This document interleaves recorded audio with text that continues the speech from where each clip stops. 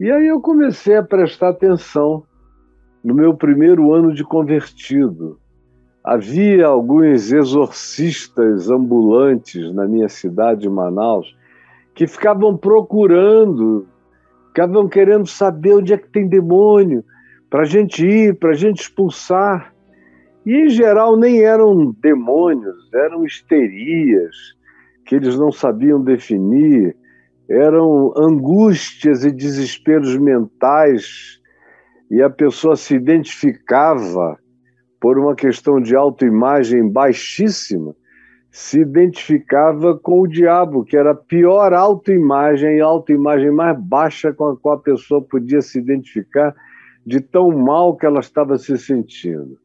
Aí chegavam esses crentes lá, começavam a tratar a baixa autoestima dela como demônio, começavam a tratar a histeria dela como demônio, ou o transtorno de ansiedade dela como demônio, ela assumia o que ela estava tendo, que eu trataria de um outro modo, rapidinho, como demônio. E às vezes virava uma pessoa que aprendia e praticava uma espécie de persona demoníaca, um psiquismo demoníaco, uma expressão, uma interpretação demoníaca de acordo com a fajutice dos demônios que ela via se manifestarem por aí, ou que as pessoas induziam-nas a se expressarem assim.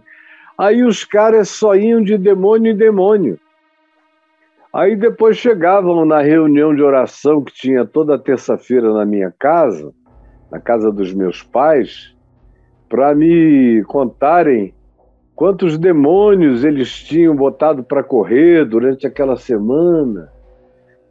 E, e, eu e meu pai que fazíamos isso todo dia.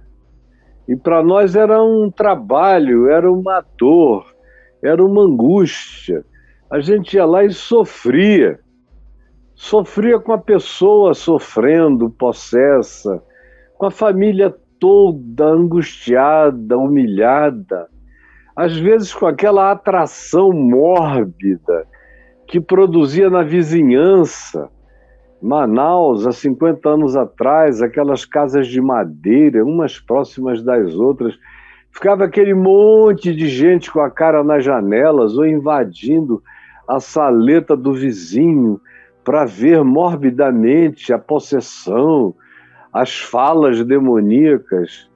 E tanto meu pai quanto eu íamos botando todo mundo para fora, fechando as janelas, fechando a porta, sai, sai, sai, sai, sai. E aí cuidávamos com discrição e todo mundo ficava chocado porque a gente não gritava, não tinha nada disso e era rápido era autoridade no nome de Jesus. E muitas vezes eu chegava e Deus me deu um discernimento nesse sentido de diferenciar problemas espirituais de problemas psicológicos e também de discernir quando os dois, o espiritual e o psíquico, estavam fundidos e caminhando juntos. Logo eu comecei a ter essa sensibilidade e meu pai começou a usar essa minha sensibilidade com muita sabedoria e humildade, porque ele era meu pai, ele era mais velho, era pastor há mais tempo, mas ele me dizia, meu filho, o que que a tua intuição está dizendo? E às vezes eu dizia, pai, é só demônio mesmo, vamos mandar sair que é só isso. Outras vezes eu dizia: olha, eu acho que esse negócio aqui está misturado. E a gente vai mandar sair o demônio, ele vai sair, mas vai dar aparência de que não saiu. Porque essa pessoa já aprendeu a representação desse tipo de endemoninhamento. E ela já pratica isso até como moeda de troca ela já faz isso inconscientemente para manter essa atenção toda da vizinhança, da família, do marido desatencioso, ou da esposa já totalmente descrente do marido e o cara ficava lá numa crise dessa e ela pela primeira vez se preocupava. Então, tem também esse uso. Tem uma coisa espiritual, mas sai rápido. A gente vai ter mais trabalho é para lidar com a persona, com o psiquismo demoníaco que ela foi encarnando. E outras vezes eu dizia, pai, não tem demônio nenhum aí. Demônio nenhum aí. Deixa comigo que eu levanto esse negócio aqui já já com uma conversa no pé do ouvido. E às vezes estava lá a mulher de perna aberta, com tudo para fora. E ou, outras vezes tinha um negócio muito esquisito. Endemoninhadas, entre aspas, jovens, bonitas, eu me lembro de um que tinha um corpo de mícia. A menina era uma gata linda, sensual, bonita. E ela foi me ouvir pregar.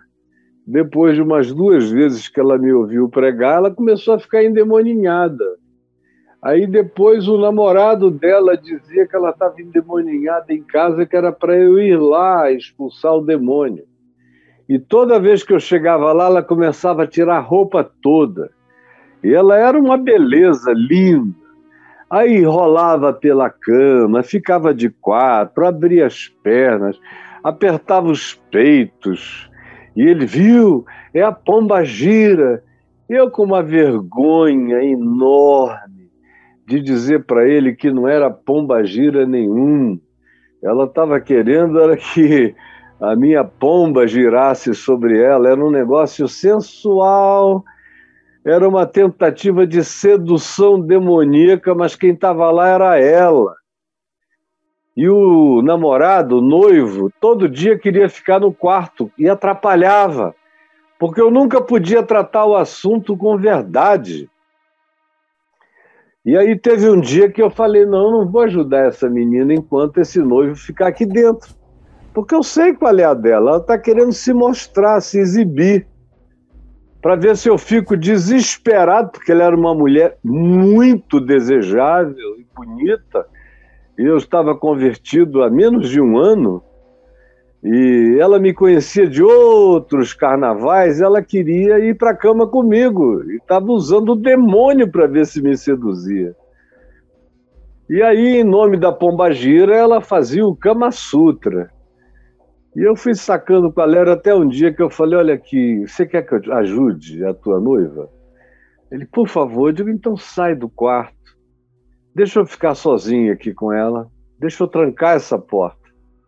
Aí saiu todo mundo, eu tranquei a porta, aí chamei-a pelo nome: Fulana, olha, agora somos só eu e você.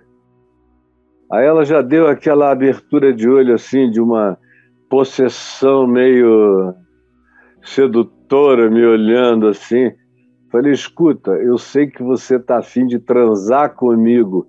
Aí o demônio deu um sorrisinho.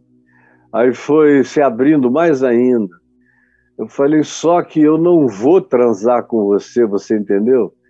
Eu não creio na tua pombagira, nem no primeiro dia, estou sacando qual é a tua desde o dia em que você me olhou de uma certa forma lá na igreja. E eu só estou perdendo o meu tempo aqui porque o teu noivo fica aqui dentro. E eu não posso conversar assim na tua cara. Deixa eu te falar, eu sei que a tua estratégia é usar a pomba gira para ver se me deixa tão excitado como um jovem que estava acostumada a pegar quem queria o tempo todo, e você é linda mesmo, só tem um detalhe. Eu estou enojado de ver isso, você entendeu? Vamos parar com essa idiotice. Você pode viver mil anos, eu não vou tocar em você. E agora eu não vou mandar demônio nenhum sair de você. Você só abre o olho e vista a roupa. Levanta. Aí ela foi des, des pomba girando totalmente, assim, sem graça. Eu dei o vestido para ela, falei, bote sua roupa íntima, bote tudo, bote o vestido. Aí ela já queria até se cobrir com o lençol, digo, faz bem. Abri a porta, chamei o noivo, falei: pronto, ela está aqui, ela não vai ter mais nada disso. Não vai ter mais nada disso. E se ela tiver, diga para ela: olhe, lembre da conversa que o Caio teve com você. E não a trate mais como endemoninhada, porque, deixa eu te dizer, na presença dela, não era demônio, era representação sensual, só isso. Tchau. Estou esperando domingo no culto ou sábado. E pronto. Passou aí, normal, ficou lá com ele muitos anos, nunca mais teve nada. Mas tem gente que, em outras circunstâncias, alimentaria aquilo até para voltar lá, um monte de crentes tarados, até para voltarem lá e ver aquela beldade linda, bonita, sensual, pelada, virada de frente para trás, de quatro, no candelabro, fazia tudo para sensuir, eh, sensualizar, para levar você supostamente a um estado de interesse físico nela. Aí vem os caras que têm mais alegria em demônio do que no amor de Deus e ficam alimentando os processos que não são de endemoninhamento, são mentais, psíquicos, são fusões de problemas de natureza espiritual e psicológica, ou às vezes são apenas desempenho